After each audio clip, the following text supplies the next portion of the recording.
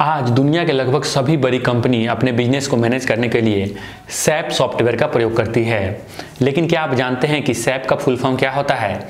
तो आइए सैप के फुल फॉर्म के साथ साथ उसके बारे में कुछ इंटरेस्टिंग बातें भी जानते हैं। सैप का full form system application and product in data analysis होता है।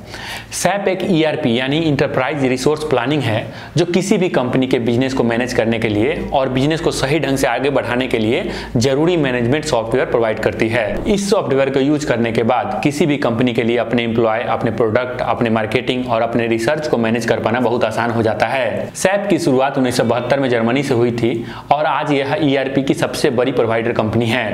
आज पूरी दुनिया में सैप के 12 मिलियन से ज़्यादा कस्टमर हैं। इसी तरह के इंटरेस्टिंग टॉपिक के फुल फॉर्म और उसके बारे में बेसिक डिटेल्स की भी जानकारी के लिए मेरे चैनल को सब्सक्राइब करें और मुझे इंस्टाग्राम पर फॉलो करें। धन्यवाद।